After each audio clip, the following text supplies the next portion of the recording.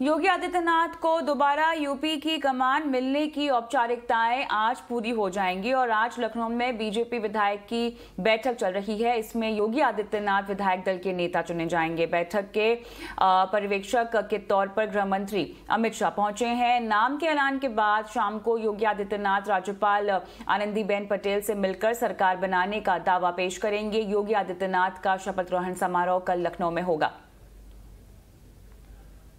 योगी आदित्यनाथ शुक्रवार को लगातार दूसरी बार यूपी के सीएम पद की शपथ लेंगे। शपथ ग्रहण समारोह लखनऊ के एकाना स्टेडियम में होगा। इस समारोह को भव्य बनाने की जोरदार तैयारियाँ चल रही हैं। शपथ ग्रहण में पीएम मोदी समेत बीजेपी के कई दिग्गज मौजूद रहेंगे। ग्राउंड ज़ीरो से पूरी तैयारियों का जायजा लिया हमारे सहयोगी आदर्श सिंह ने।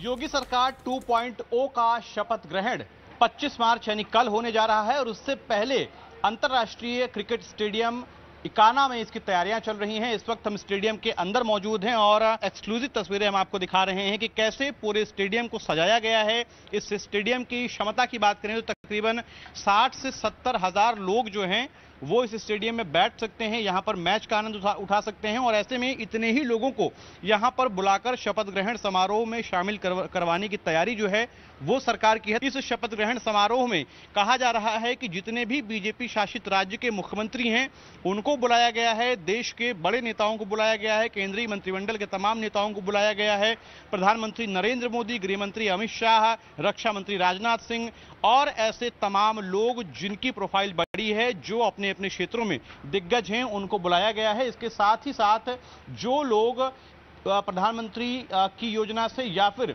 राज्य सरकार की योजनाओं से लाभान्वित हुए हैं, उन लाभान्वितों को भी बुलाने की तैयारी है और इसी के साथ में अगर आपको दिखाऊँ तो ग्राउंड में अगर आप देखें तो यहाँ पर शपथ ग्रहण समारोह बड़ा सा लिखा गया है फूलों से और उसके साथ साथ कमल, जो भारतीय जनता पार्टी का प्रतीक चिन्ह है, उसको भी बनाया जा रहा है, उकेरा जा रहा है मैदान में। ये पूरा ओ सर्कल बनाया गया है और इस सर्कल में आने की किसी को भी इजाज़त नहीं होगी।